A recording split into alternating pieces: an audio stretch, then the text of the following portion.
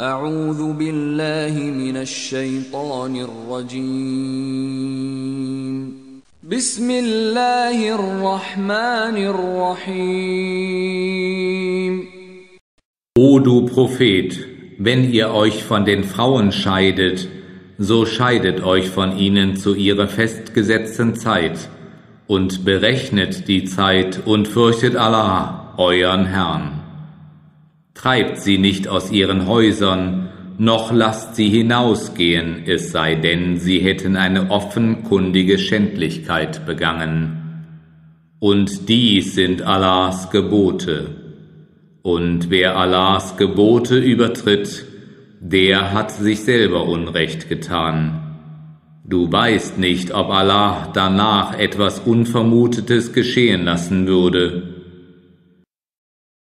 Wenn sie aber ihren Termin erreicht haben, dann haltet sie in Güte zurück oder trennt euch in Güte von ihnen. Und nehmt als Zeugen Leute von Billigkeit unter euch und legt Zeugnis vor Allah ab.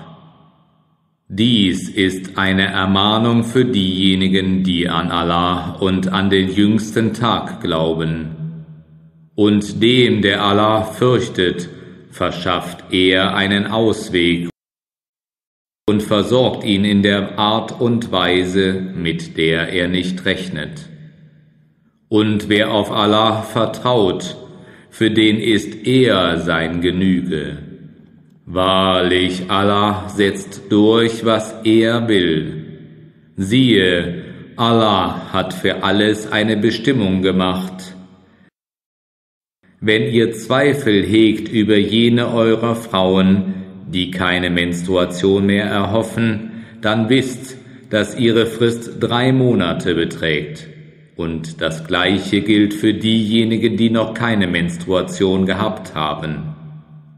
Und für die Schwangeren soll die Frist so lange dauern, bis sie zur Welt bringen, was sie getragen haben. Und dem, der Allah fürchtet, wird er Erleichterung in seinen Angelegenheiten verschaffen. Das ist Allahs Befehl, den er euch herabgesandt hat. Und wer Allah fürchtet, er wird seine Übel von ihm nehmen, und ihm einen würdigen Lohn geben. Lasst sie wohnen, wo ihr wohnt, gemäß euren Mitteln, und tut ihnen nichts zuleide in der Absicht, es ihnen schwer zu machen. Und wenn sie schwanger sind, so bestreitet ihren Unterhalt, bis sie zur Welt bringen, was sie getragen haben. Und wenn sie das Kind für euch stillen, dann gebt ihnen ihren Lohn und geht gütig miteinander um.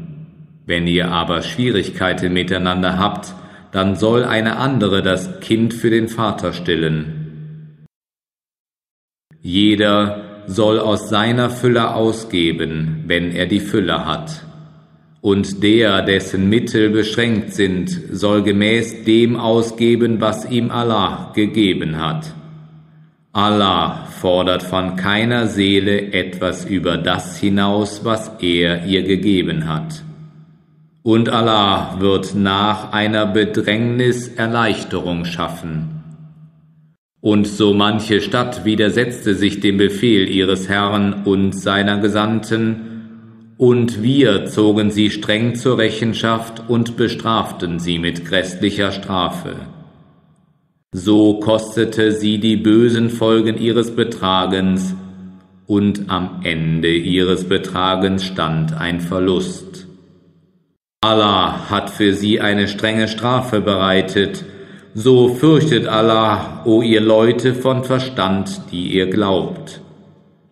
Allah hat euch wahrlich eine Ermahnung herniedergesandt, einen Gesandten, der euch die deutlichen Verse Allahs verliest, auf dass er jene, die glauben und gute Werke tun, aus ihren Finsternissen ans Licht führe.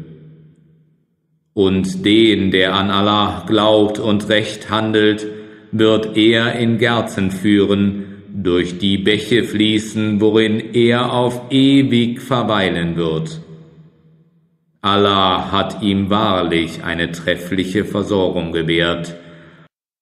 Allah ist es, der sieben Himmel erschuf und von der Erde die gleiche Anzahl. Der Befehl steigt zwischen ihnen herab, auf dass ihr erfahren mögt, dass Allah über alle Dinge Macht hat und dass Allahs Wissen alle Dinge umfasst.